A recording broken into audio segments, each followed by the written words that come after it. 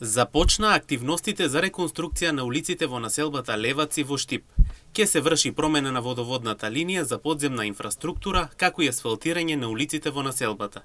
Ке се навлезе во сите улици, а целта е оваа година населбата да добие модерна и нормална инфраструктура со нови тротоарски површини и коловозни ленти, истакна градоначалникот на Штип Иван Јорданов и додава дека ваквата обнова е необходна за овој дел од градот. Се наоѓаме во населба Леваци, овде се започнати активности за промена на водоводните линии за подземна инфраструктура, нешто кое што е необходно за да се навлезе со третирање на тротоарските површини и асфалтирање на улиците во населбата Леваци. Моментално се работи на улица Христијан Карпош и на улица Асном.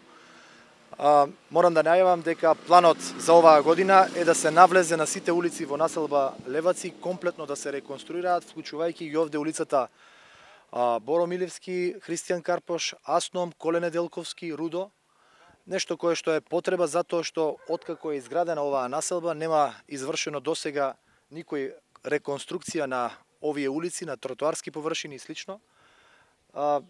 Замолуваме за трпение затоа што за да се направи нешто, поголем дел од улиците ќе бидат раскопани, ќе се работи подземно со промена на водоводните линии.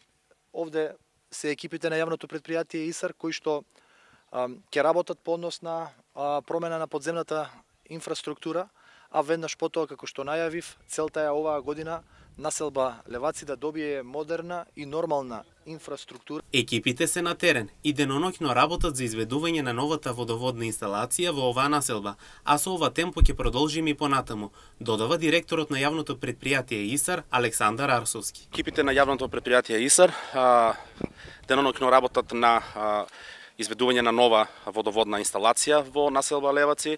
Со такво темпо и динамика ќе продолжиме и во наредниот период за граѓаните на оваа населба да добијат нова водоводна линија со што целосно ќе бидат задоволени потребите со водоснабдување.